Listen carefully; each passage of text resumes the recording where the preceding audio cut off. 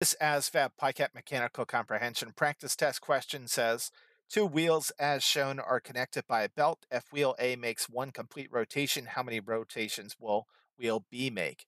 So in this case, we're not given the number of teeth on these uh, wheels. Instead, we're given their diameters, and we can quickly compute a gear ratio using their diameters.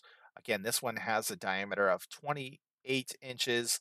This one has a diameter of 14 inches. We can reduce this ratio by a common factor of 14.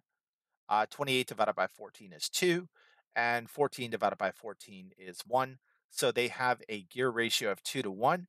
That means for every one rotation this big gear makes, this small gear is going to rotate two times. All right, so this one is going to be C, two rotations.